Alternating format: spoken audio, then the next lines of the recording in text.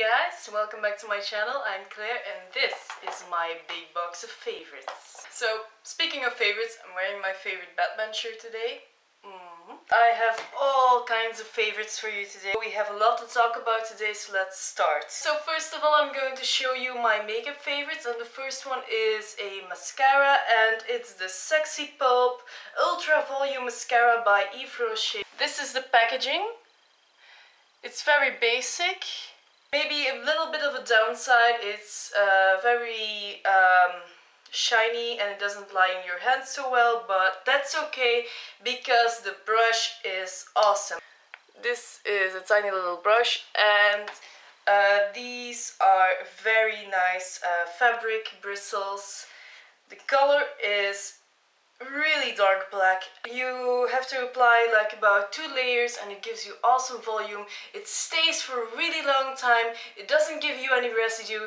This is one of my favorite mascaras all time. Moving on, I uh, went a bit crazy on uh, drugstore haul this month and I bought some crazy colors. Uh, when it comes to makeup and one of these was uh, the Contour Clubbing Waterproof uh, Eye Pencil by Bourjois and this color is called Pink About You and it's a neon pink and I'm going to swatch this for you guys because this color is awesome. It really is a neon pink. Look at that. This is my favorite eyeshadow for the moment. It's uh, the Liquid Metal eyeshadow by Catrice. Packaging is really basic, it's like a plastic case, but the eyeshadow is really nice and it's like wavy. That's so cool. I'm going to swatch this because I want you to see how pigmented this is. I mean, look at this. Yes, it focuses. The color can be described as a mm, as a cocoa kind of um, brown. It's nice and shimmery and it just... Oh, by the way, the color is called Nougat It Right. This is a really nice brown.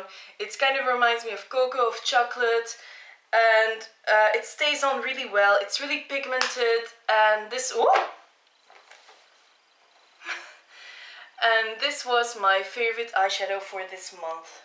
And then a favorite lipstick, it's the one I'm wearing right now. It's a really awesome, I call this Innocent Pink, um, but it's number uh, 910 by Kiko. And this is an awesome pink for spring. It's really cool. It's a fuchsia kind of pink and I'm going to swatch this to show you. This is what it looks like. It's really and it's uh, suited for any moment of the day basically. Maybe a downside is that it's a little bit too creamy and you're going to have to reapply this um, a few times a day but the color really makes up for it. So that's it for my makeup favorites. Next are my beauty and care favorites and I'm going to start with this one. A little closer. I recently uh, recolors my hair. This is the coloring that I use and it's Garnier's Nutrisse Crème. Number 10 Black.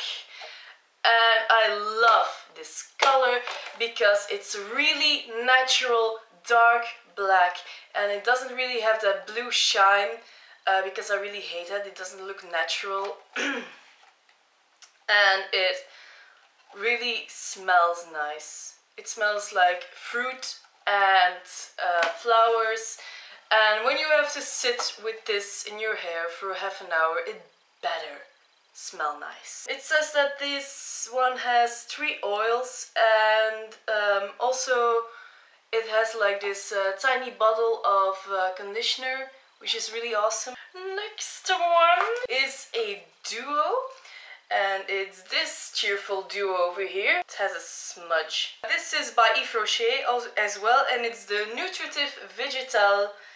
Um, this is the toner and this is the facial cleanser and uh, I bought the cleanser first for my skin and this is for very dry and damaged skin to repair it. I went back and I bought a toner as well because I was curious on how these two would interact with each other and my skin was so soft, so soft. Uh, it's hard to find to... there we go again. It's hard to find a good cleanser uh, for me because uh, a lot of times they will dry my face out and I will start to have like flakes of skin around everywhere. I really love these two because they moisturize my skin and I'm using a lot less of my um, day cream since I've started to use these so these are really good. Um, I also have a favorite deodorant this month and it's almost empty and it's the Fa Fantasy Moment. This one. This is a um, this is a 24 hour deodorant with enchanting fresh fragrance, no white marks, skin friendly. And this is true. This didn't dry my skin out at all. It didn't sting, it didn't react with my sweat, it didn't do anything except for smell really, really good. And the smell can be kind of described as like flowers, but it's like more heavier flowery scent. If you're into that kind of stuff, I would really recommend that you buy this one because it's really good. Next uh, are two um, shower gels and this is the lemon verbena and this is the peach and almond and they are both from Marks and Spencer and I bought these two on my last trip to London last summer uh, but you can easily easily easily you can easily buy these online I discovered recently that Marks & Spencer has an online shop. I really like this lemon verbena one. The scent is so spring-like and uh, this peach and almond as well. I haven't opened this one um, yet, but I've opened this one and I've almost completely used it up. By the way, um, this is, uh, I'm going to show you there. And that sign means that these products haven't been tested on animals, which is probably a big plus as well. These are very moisturizing and they smell very well, so I like them basically. Next is a hairspray. This is the Vital by Nivea. You can just spray this on, it will hold all day long and you can just brush it out. Uh, the only downside is this will leave just a little bit of residue in your hair, but you, you can just shake it out and it will be gone. It won't make your hair greasy. Another small downside is um, Nivea does have this like um, defect in their packaging that uh, spout is that what it's called? I don't know. The spouts in their hairsprays clog up really easily.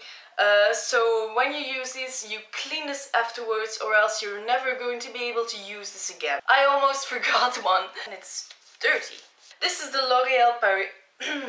this is the L'Oreal Paris uh, Studio Line Big and Hot um, like protection spray for your hair.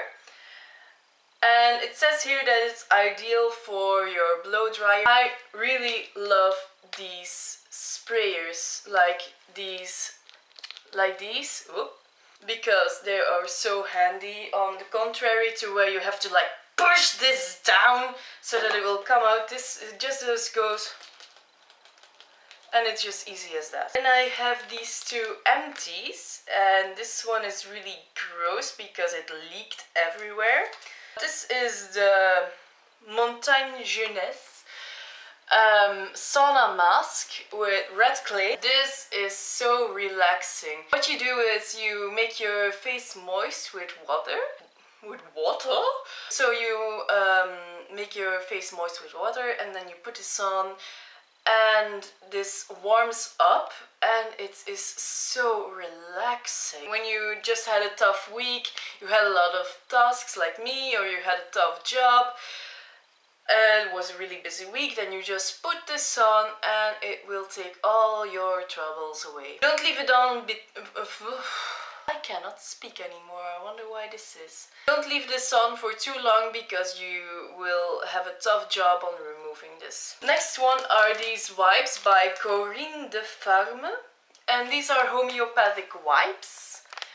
And normally I'm not really a fan of homeopathic anything, but these are really great. They remove any kind of makeup, waterproof or otherwise. Really easy, they smell so good. They literally smell like roses. Please throw this mask away right after you use it because it will leak on everything you love.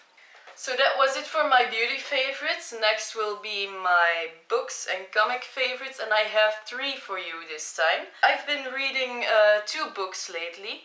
Uh, yes, two books because I've been reading this one as an audiobook but I have the actual paper version right here. I borrowed this from my boyfriend. And this one is one from my own collection and it's Boneshaker by Cherie Priest and I've been reading this in the flesh.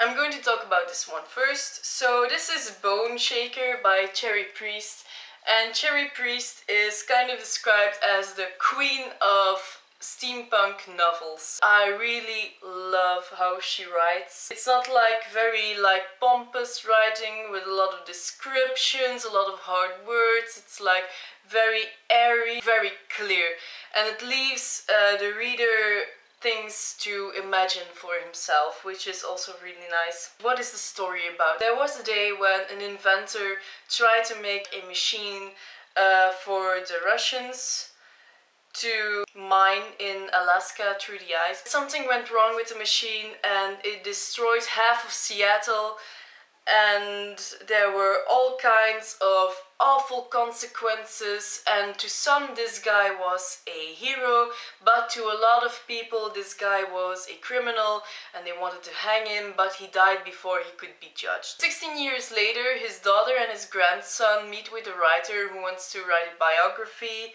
about him uh, and they want to find uh, the machine that he made. Something went wrong, his machine blew up and so many years later um, his daughter and grandson are left in the ruins of everything he made and he is seen as a great villain but his grandson believes that he is a hero. He leaves on a quest throughout the whole city and he meets with sky pirates, there are zombies and it's really quite an adventure and his mother Briar just goes in and makes sure that he gets out alive. Then the second book is one that I've been reading as an audiobook but I've got the paper version right here.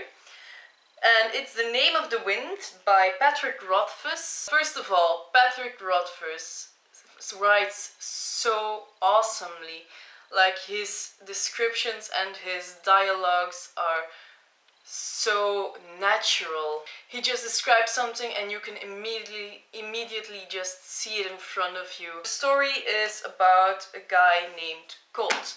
And Colt is um, some sort of wizard. I'm not going to talk too much about his book because I'm really afraid that I might spoil this for you. But Colt is kind of like a sort of wizard and uh, we follow him through his life story. This is the first book of the Kingkiller Chronicles and uh, I'm almost done with this one and uh, then there are two more books to read so I'm really looking forward to that. I haven't been reading a lot of comics because I'm still reading Journey into Mystery. It's only two comics, Journey into Mystery, but it's taking me so long to read it and I don't know why, but I really like the story. It's just taking me a long while. But the next one on my list is Rat Queens. It's basically about a group of women uh, who go on fantasy adventures. If you know Dungeons and Dragons, it's basically someone's Dungeons and Dragons campaign gone wrong. Some really nice drawings in here, like this one. I've been reading the first few pages and yeah, I'm pretty much hooked. The rest is going to have to wait until I finish Journey into Mystery. Well, so that was it. I hope you enjoyed my video. If uh, you have any comments, requests, questions whatsoever, post them down below in the comment section. Give me a thumbs up if this video was to your liking. And I will see you next time. Bye!